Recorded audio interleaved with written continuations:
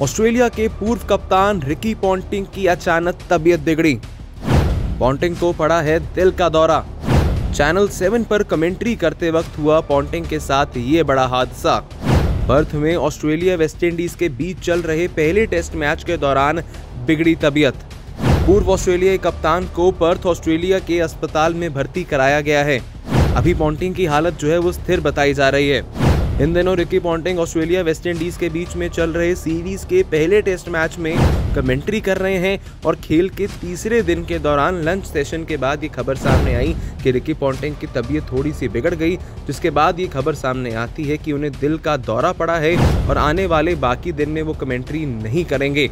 इसी बीच आपको साथ ही में बता दिया जाए, रिकी पॉन्टिंग ऑस्ट्रेलिया के सबसे सफल कप्तानों में से एक रहे हैं और इन दिनों रिकी पॉन्टिंग जुड़े हुए हैं आईपीएल के साथ दिल्ली कैपिटल्स की टीम में बतौर हेड कोच और यहीं पर दिल्ली कैपिटल्स के हेड कोच और ऑस्ट्रेलिया के पूर्व कप्तान रिकी पॉन्टिंग को दिल का दौरा पड़ा है और आने वाले कुछ दिनों में रिकी पॉन्टिंग को भारत भी आना है, जहाँ पर 23 दिसंबर को होने वाली आईपीएल ऑक्शन में दिल्ली कैपिटल्स के टेबल पर हमें बैठे हुए नज़र आने वाले हैं रिकी पॉन्टिंग।